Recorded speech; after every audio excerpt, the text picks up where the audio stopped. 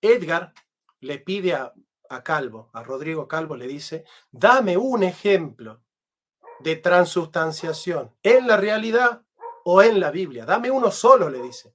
Si me das un solo ejemplo de transubstanciación, entonces yo te doy por ganado el debate. Así se lo pone en esos términos, que si yo hubiese sido católico, que si yo hubiese sido católico, a Edgar le gano el debate.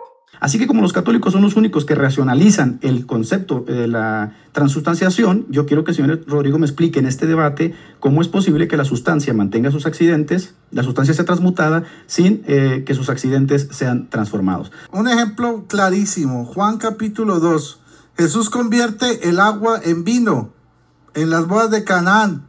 Eso no es una categoría aristotélica, señor Edgar.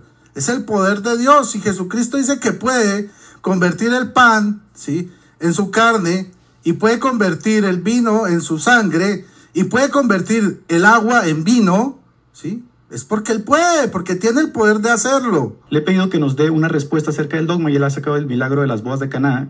Y yo pregunto, ¿el milagro de las bodas de Caná es un ejemplo de transustanciación? La respuesta es no, porque según el enfoque filosófico tradicional, ahí no está ocurriendo un cambio de sustancia. Se lo voy a repetir otra vez más. Ahí, señor Rodrigo Calvo, no está ocurriendo un cambio de sustancia, sino de accidentes. ¿Cómo la eh, sustancia puede ser transmutada manteniendo los accidentes si eso ni el propio Aristóteles lo creía? Si usted va a confesar que esto se dio un milagro, entonces el debate se acabó. Primero, Edgar comete un error que es importante. Edgar dice que en la boda de Canaán la conversión del el agua en vino no es una transustanciación no es un cambio de sustancia. Y está equivocado, Edgar, ahí. Este, bueno, está bien.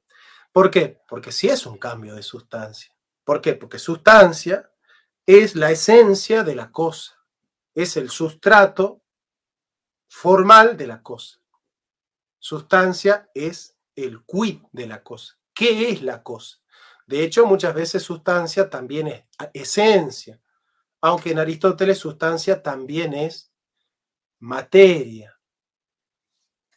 Pero, ¿qué es un cambio de sustancia? Dejar de ser una cosa y pasar a ser otra cosa. Y ciertamente, si hubo una conversión de agua en vino, es porque el agua dejó de ser agua y se convirtió en vino. Entonces ya no hay agua, hay vino. Y el vino pasó de ser agua a vino. ¿Se entiende? Entonces hay un cambio de cosas, ya no hay una cosa, sino que es otra cosa. Ese es un cambio de sustancia.